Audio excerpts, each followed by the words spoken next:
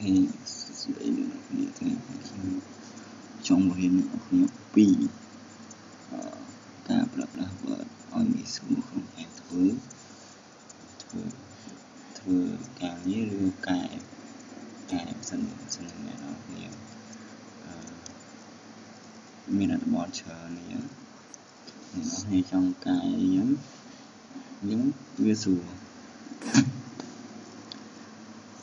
មានវិធីសាស្ត្រមួយដែលធ្វើឲ្យងាយស្រួលក្នុងការកែ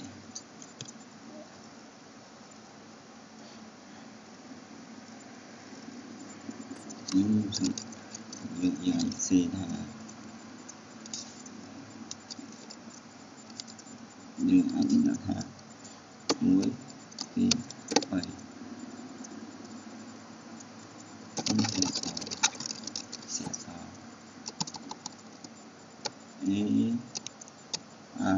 K D à hãy cho thế C E E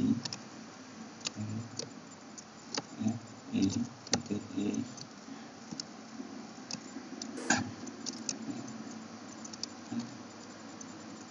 K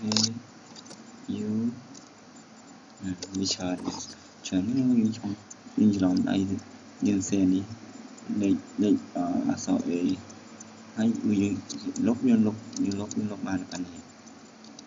លុបបាននេះចុះអាផ្សេងទៀតវាអត់លុបទេអញ្ចឹងវាហ្នឹងគឺយើងមាន function មាន function យើងចុចអា control អក្សរ A មកមានលុបទាំងនេះទាំងហ្នឹងវាវាឲ្យយើងរើសវាយើងថាយើងចង់លុបអក្សរ A អក្សរ A នោះដាក់ដូចជាយើងសេខអក្សរ A នោះយើងចង់អក្សរ A ដូចជា អក្សរ B វិញគឺមកដាក់ថា I love you A A មកអានេះដាក់ថា I love you យ៉ាងយើងអាចដាក់ថានេះហើយជួយរៃមក refresh off អូខេអញ្ចឹងរកន្លែងដែលមាន អក្សរ A ទាំងអស់នៅក្នុងមើល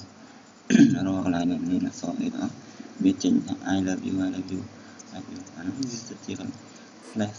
flash នៃអក្សរ A ខំដូចគ្នាអញ្ចឹងឥឡូវយើងសាកមកម្ដងទៀតបើសិនយើងយើងឃើញអានេះ x អមកយើងហៅអក្សរណាដែលដូចគ្នាអក្សរដូចជានេះអក្សរ S នេះណា S ដូចគ្នាអញ្ចឹងយើងចុច control អក្សរ H មកចុចពាក្យថា control អក្សរ H ហ្នឹងកែថាដាក់ដាក់លើយើងដាក់ find what ហ្នឹងណាស្វែងរកអ្វីដែលយើងចង់ដូរចង់កែអញ្ចឹងដាក់អក្សរ S អក្សរ S គឺយើងចង់កែវាយើងសេខុសអញ្ចឹងយើងដាក់ថា I I want you យើងទៅយើងចុចមក refresh all នេះចុច refresh all មកយើងចុច OK គេមកចុច clock យើងរកអក្សរ S ទាំងអស់រកទាំងអក្សរ S ទាំងអស់វាចេញ I want you I want you អញ្ចឹងនេះនេះគឺជាកលឹះមួយបាទបាទសំខាន់ដែរសម្រាប់អ្នកដែលធ្វើការរដ្ឋបាលឬ Google អីអញ្ចឹងហើយនេះខ្ញុំមានតែប៉ុណ្្នឹងទេជូនដល់មិត្តមិត្តដែលជួយចិត្តរៀនតាម YouTube សូមអរគុណសូមជម្រាបលា